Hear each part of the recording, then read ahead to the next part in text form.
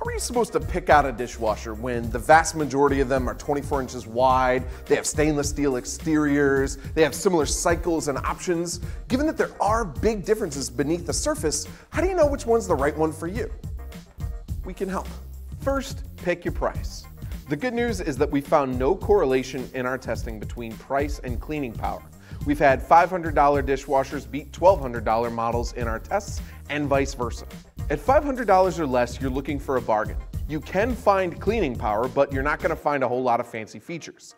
For six to $900, you won't be able to get a dishwasher with all of the latest and greatest bells and whistles, but you should be able to pick a couple of your favorites. Once you're looking over a thousand, you're in premium territory, and you should start to expect the world.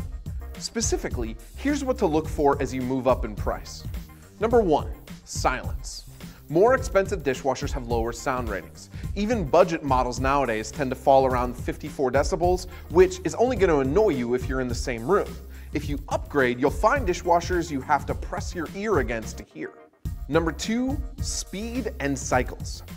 Yes, lots of dishwashers have similar cycle options, but if you have lots of wine and cheese gatherings, make sure your new appliance has a gentle or china setting.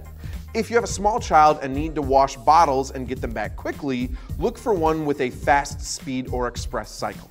Number three, drying.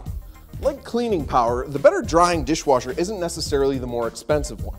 Look for options like this called Power Dry, then just check our reviews to see which one actually performs better. Number four, flexible loading. Examine the inside of the dishwasher as you shop, and look for the arrangement of tines and racks to make sure it makes sense for you.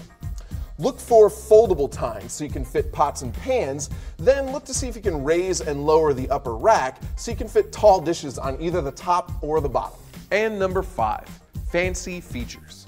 Cycles that only run on the top or the bottom, or use steam, specialized jets for bottles or casserole dishes.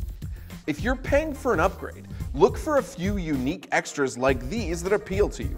Finding the right dishwasher for you is a balancing game. Pick your price and then just look for features that are appealing to you. Most dishwashers are going to be upfront about their cycles, their options, their capacity, and their sound rating. Then just check our reviews to see which ones hold up well under pressure.